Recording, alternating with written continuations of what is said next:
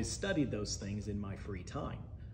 You know, the different traits that make or break you successfully. And I also know that, that a lot of that stuff's BS, like getting up at 4 a.m. every day. Well, someday I want to write a book about how I did XYZ awesome thing and I slept 10 hours a night most nights. Like, I don't get up at 4 a.m., never have. Uh, I also don't usually stay up all night. So I think that steady consistency in your habits is key. I think that the relationships in your life uh, at home is key.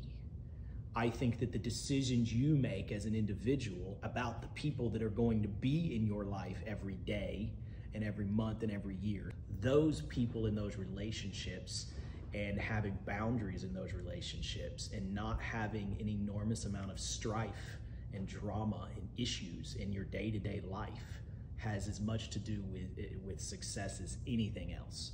And then other than that, it's about having a vision. That's what I'm most blessed with probably is from the time I was 10 years old. I wanted to take charge of my life and I wanted to make it successful and whatever that meant to me. I don't think most people think that way. I think it has to do with mindset and relationships.